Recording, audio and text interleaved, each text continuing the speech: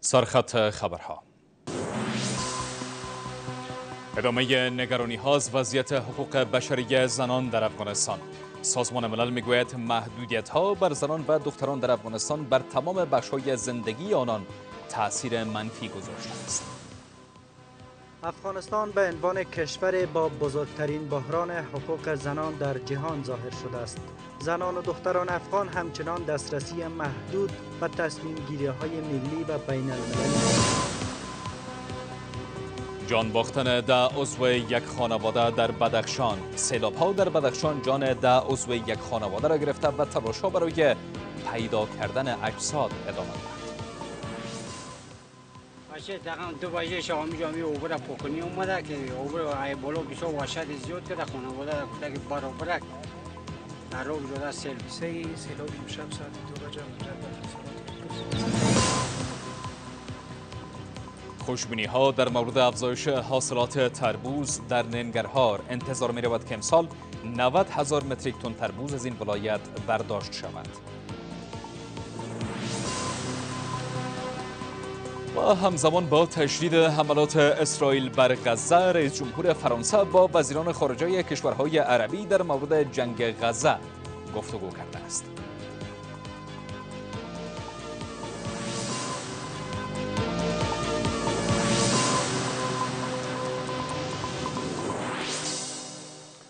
سلام و شب بخیر به مجموعه خبری ساعت 8 خوش آمدید. امروز یک شنبه ششم جوزای سال 1403 هجری خورشیدی است. من داریوش احمدی هستم.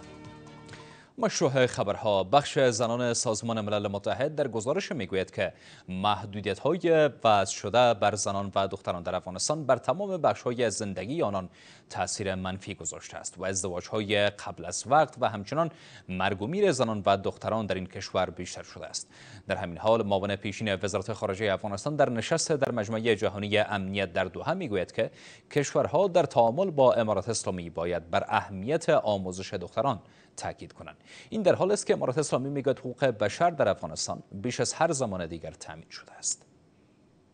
بخش زنان سازمان ملل متحد در گزارشی می‌گوید که محدودیت های وضع شده بر زنان و دختران در افغانستان بر تمامی بخش های زندگی آنان تاثیر منفی گذاشته است. بر بنیاد این گزارش بخش زنان ملل متحد ممنوعیت تحصیل و آموزش در افغانستان ازدواج های زیر سن دختران را 25 درصد فرزندآوری زود هنگام را تا 45 درصد و مرگ و میر احتمالی مادران را تا 50 درصد افزایش داده است. این سازمان می افزاید که این گزارش را بر اساس مشاوره ها و مصاحبه ها با بیش از 700 زن در افغانستان از سال 2022 تا 2024 و با همکاری سازمان بین المللی مهاجرت و هیئت معاونت سازمان ملل متحد در افغانستان یا یونما تهیه کرده است. افغانستان به عنوان کشور با بزرگترین بحران حقوق زنان در جهان ظاهر شده است. زنان و دختران افغان همچنان دسترسی محدود به تصمیم گیری های ملی و بین المللی دارند. محدودیت های آموزشی و کاری بر زنان و دختران در افغانستان بر تمام بخش های زندگی آنان تأثیر منفی گذاشته است. در همین حال در نشستی در مجمع جهانی امنیت در دوحه اشتراک کنندگان تحت عنوان تهدیدات امنیت انسانی در جنوب جهانی وضعیت افغانستان را نیز بررسی کردند. معاون پیشین وزارت خارجه افغانستان در این نشست از وضعیت حقوق بشری به ویژه حقوق زنان و دختران در افغانستان ابراز نگرانی کرده و می‌گوید که ممنوعیت آموزش دختران در اسلام و فرهنگ افغانستان ریشه ندارد. افغانستان تنها کشور در جهان است که دختران پس از سنف ششم نمی توانند به مکتب بروند. آنها نمی توانند به پهنتون بروند.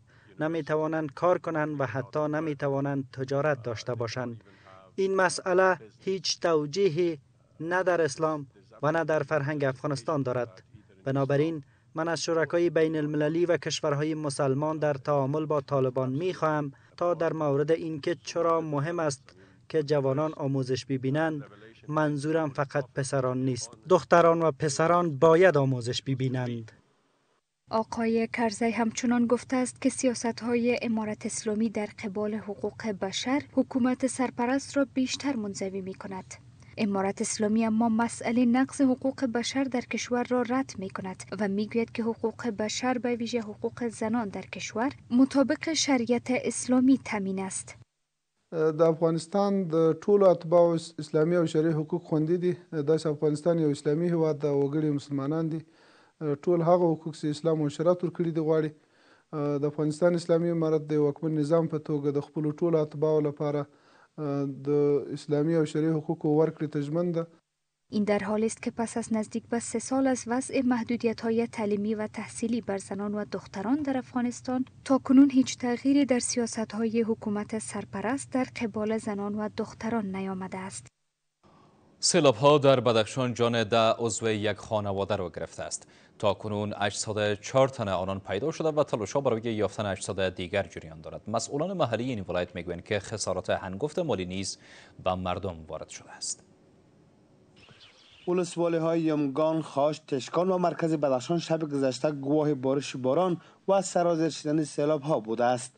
مسئولان ریاست مبارزه با حوادث طبیعی بدخشان می‌گویند سیل شب هنگام سرازیر شده و در قریه مرچک از مربوطات ناحیه نهم شهر فیضآباد ده عضو یک خانواده را به کام مرگ کشانیده و یک تن دیگرشان را زخمی ساخته است. متاسفانه که حادثه سیلاب امشب ساعت دو بجه منجر به خسارات گفتی در سطح بدخشان خصوصا در نایه نوی فیضآباد قریه مرچک. جمع قریه سارک هم تخریبات خانه مسکونی دارد. تنها حادثه کلانتر در قریه مرچک نایه نومی فیضآباد شده که قبلا مربوط ولسوالی ارگو بود. گواهان رویداد می‌گویند که سیل بر این خانواده فرصت نداد تا فرار کنند. باشه دقیقا دو بجه شامی جامی اوبر پوکنی اومده که اوبر ای بالا بسیار وحشت زیاد کرده خانواده گفته که برابرک در رو بجاده سیل ای خونه می‌خواد فرار کنم که شمال بده و سیل بده دمو شو در پیش من نبودم. قضیه کمی پس شده ما اومد.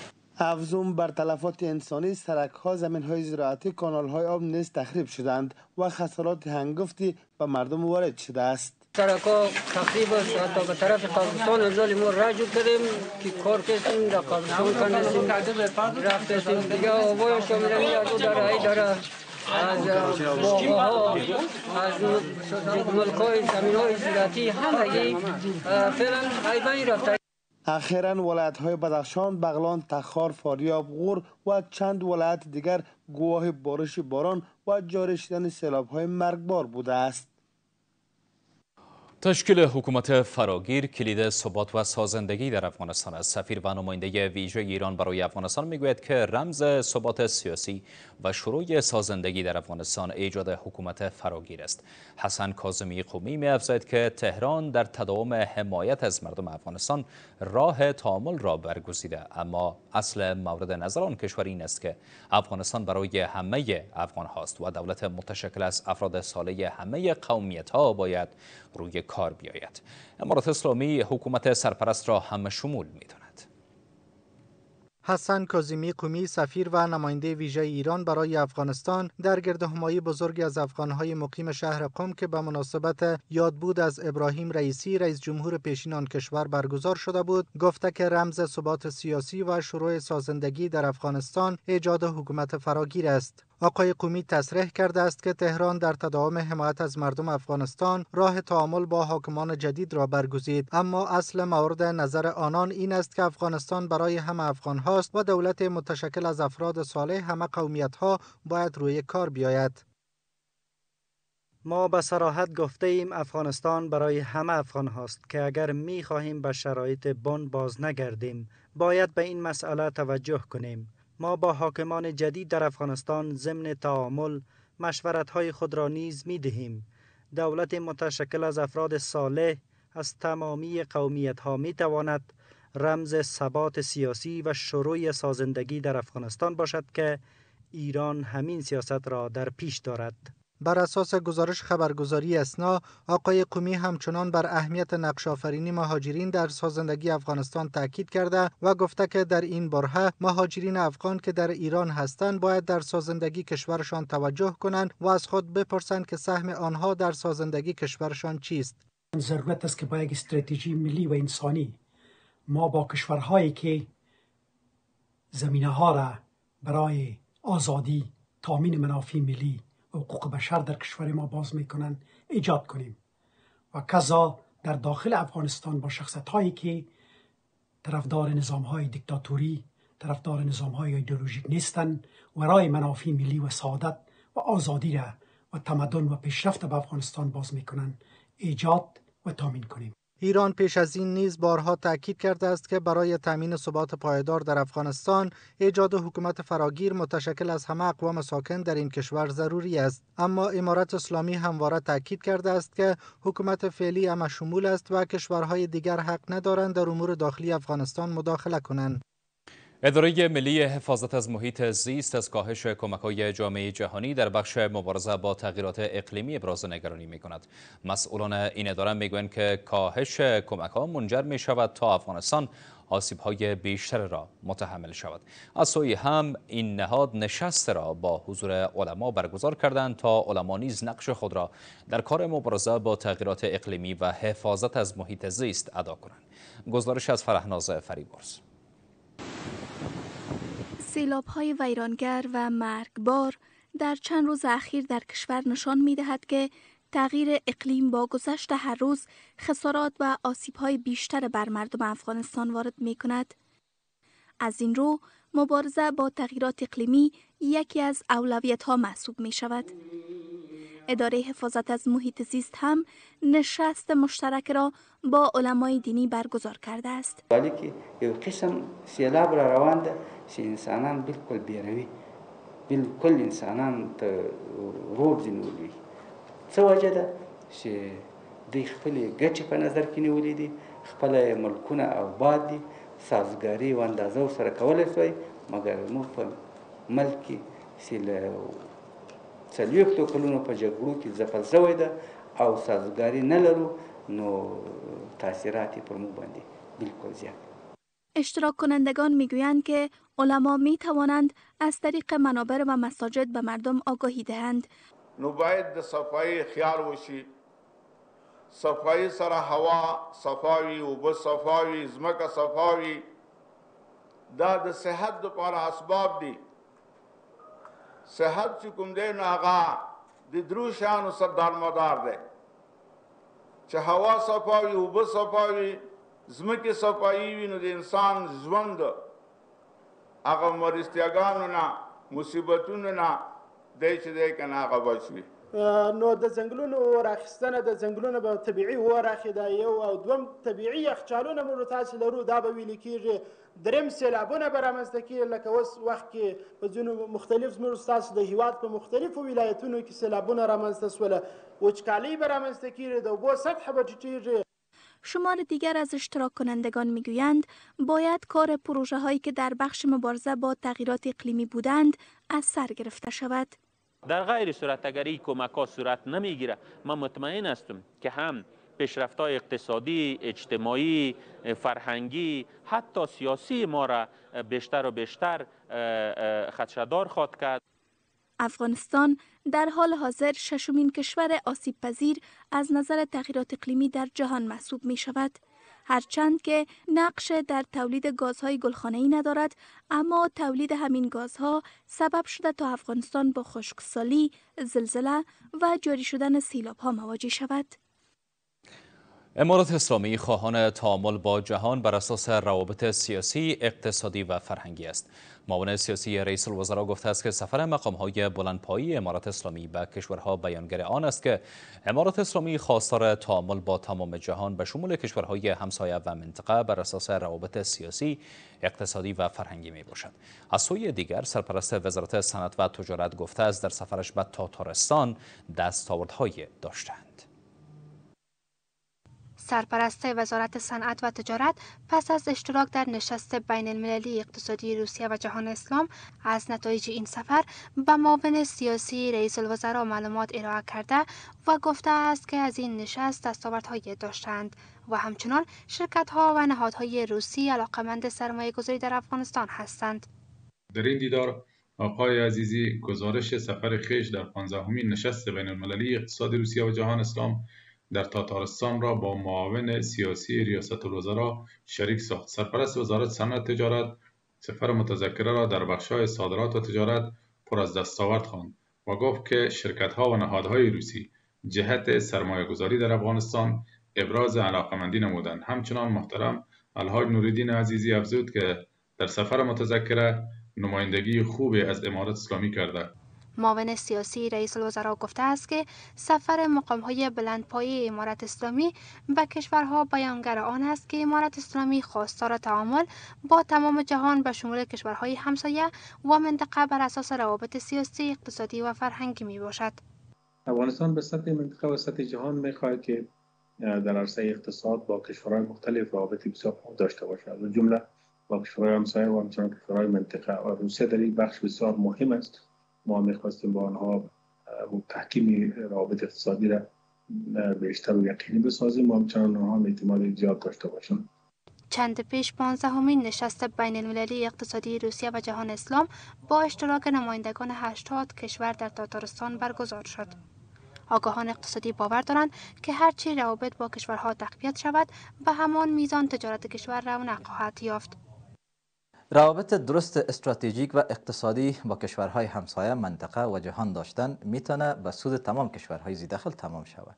بنان نشست و دیدار وزیر صنعت و تجارت افغانستان با رئیس جمهور تاتارستان می‌تونه از نگاه اقتصادی یک گام ارزشمند به اقتصاد افغانستان تمام شود. کابل در حال حاضر روابط خوب تجارتی و اقتصادی با کشورهای همسایه و منطقه دارند. بارها مقام های امارت اسلامی گفتند که در بخش تجارت با همسایه ها با مشکلات مواجه نیستند و می‌خواهند که افغانستان نقطه وصل آسیای مرکزی با جنوب آسیا باشد. در حال حاضر قصابان در بلخ نمی توانند خارج از مسلخ حیوانات را ذبح کنند. و اما قصابان می‌گویند که هزینه ذبح حیوانات در مسلخ دولتی بلند است و باید قیمت ها کاهش یابد.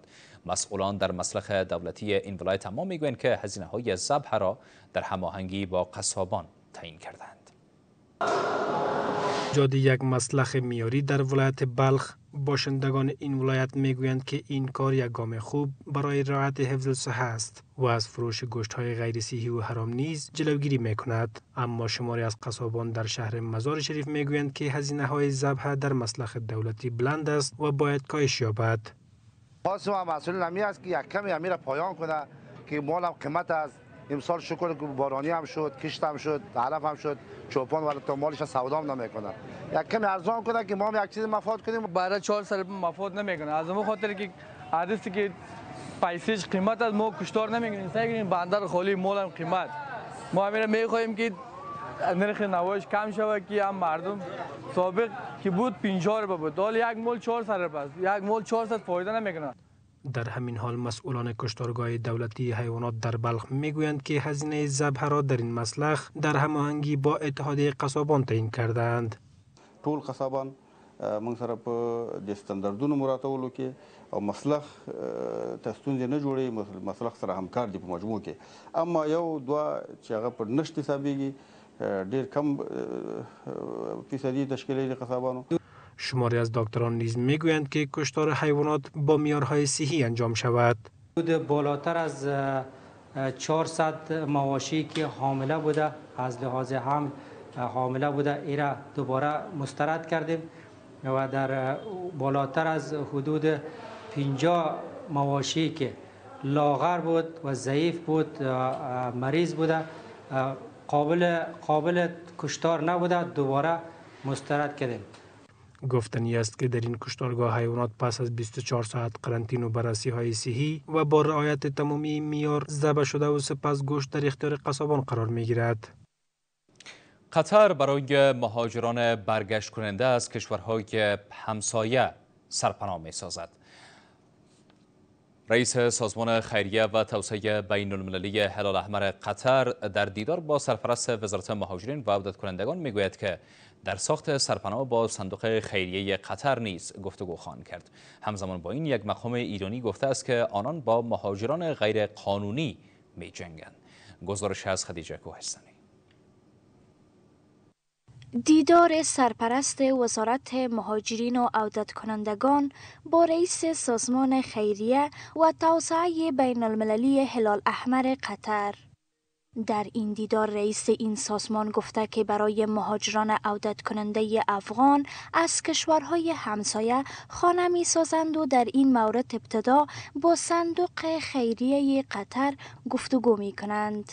د دې نورسته چون کې اسلامي امارات په پلان کې لري چې د دوی بنسټیز ستونزې حل کړي دوی ته کارونه جوړ کړي او کورونه ورته سرپناوي جوړ کړي نو په همدې لړ کې د قطر سره میاشت به هم د دوی لپاره سرپناوي جوړ کړي البته د دوی د تعداد په حق لباندې او چې څو وخت په دې کار پیل کړي نو د قطر خیریه صندوق سره به تر مشورو وروسته دغه تعداد هم وخی از سوی دیگر یک مقام ایرانی گفته که آنان با مهاجران غیرقانونی می جنگند و کسانی که برای مهاجران زمینه کار مسکن و یا هم همکاری نماید محاکمه و مجازات خواهند شد. امروز مقابله با اتباع غیر مجاز در شهرستان ری مثل مقابله کردن در زمان جنگ مثل زمانی است که اسلحه به دست گرفتن بچه های ما و رفتن شهید شدن. اطراف خانواده های ما گذاری شده. اما امارت اسلامی می‌گوید که ایران باید مطابق قوانین جهانی مهاجرت با مهاجران افغان برخورد نمایند و از اخراج اجباری آنان خودداری کنند. از آنها خواستم که با مهاجرین برخورد قانونی صورت بگیره و همچنان از لحاظ اسلامی آنها دارای حقوق هستند که باید حقوقشان داده شود و مجبور به اخراج نشوند. ما هم تلاش می‌کنیم مهاجرین افغان از همه کشورها به خصوص جمهوری اسلامی ایران هم به افغانستان بیاین. ما درک می‌کنیم وضعیت اقتصادی و مشکلات ایران را همچنان. نیاز ازی است که افغانستان افغان هم پس به کشور خود برگردن و کشور خود آباد بسازن. ولی یک وقت می‌خواه یک پروسه است که باید برای تکمیل گذاشته شود. شماری از آگاهان امور مهاجران می‌گویند که تهران و اسلام آباد همواره برخلاف قوانین جهانی با مهاجران برخورد می نمایند. باید سازوکار اساسی برای مهاجرین برگشت داده شده تحریزی گردد تا این مهاجرین حداقل در زمینه های اسکان و مصارف روزانهشان دچار چالش نگردند. اخیرا ایران و پاکستان روند اخراج اجباری مهاجران افغان را تسریع کرده و روزانه صدها تن از آن کشورها اخراج شده و به افغانستان برمیگردند. حال هم خبرهای اقتصادی انتظار می رود که امسال در ولایت ننگرهار بیش از 90 هزار متریک تن تربوز برداشت شود. مسئولان در ریاست زراعت آبیاری و مالداری این ولایت می‌گویند با وجود که بارانهای اخیر بر کشزارها تاثیر منفی گذاشته ولی امیدواری ها بر افزایش محصولات تربوز وجود دارد. امسال در ولسوالی های گوشته، کامه، لالپور و بتیکوت دهقانان بیش از 2000 هکتار زمین را تربوز کشت کردند. و انتظار می رود که بیش از 80 هزار متریک تن تربوز برداشت شود. مسئولان در ریاست زراعت آبیاری و مالداری این ولایت می گویند که های اخیر تاثیرات منفی بر کشدارها داشته است. 2240 هکتار ځمکه کې هندوانې کرل شوی چې د اټکل مخې به 3808 متریک تن حاصل ورکړي بخش زیادی از زمین های کانال ننگرهار نیز تربوز کشت شده است و مسئولان در این کانال میگویند که امیدوارند تا ده هزار متریک تن تربوز برداشت کنند. 15600 یا 15200 جریب ځمکه د خټکی میدواني کرل شوې دي د اټکل د مخې حاصل ته په کتو باندې شاید څه کم لزر ټنه حاصلات موږ سکل ترلاسه کو ان شاء الله شماره از دیهاقین میگویند که برای افزایش حاصلاتشان نیازمند همکاری حکومت هستند. پروپوزلونه او هغه ارقام ټول ټول کړي دي او مقام سره شریک کړي دي وزارت سره شریک شو ان شاء الله په آینده کې په راتلونکي کې به دې لپاره غوښت تصمیمونه از سوی دیگر در هنگام برداشت تربوز برای شماره هم به گونه مستقیم و غیر مستقیم زمینه کار نیز فراهم می شود. نرخ ارزها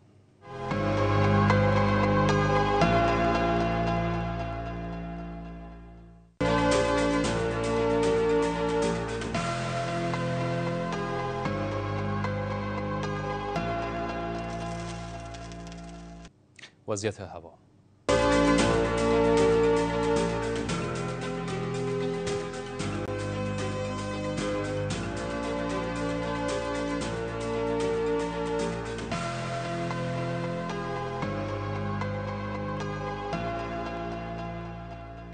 از توجه و همراهیتان به مجموعه خبری ساعت 8 سپاسگزار هستم. خبرها در همین جا به پایان می‌رسد. خدا حامی نشرین برنامه. افغان بیسی سریعترین و بزرگترین شبکه فورجی در افغانستان.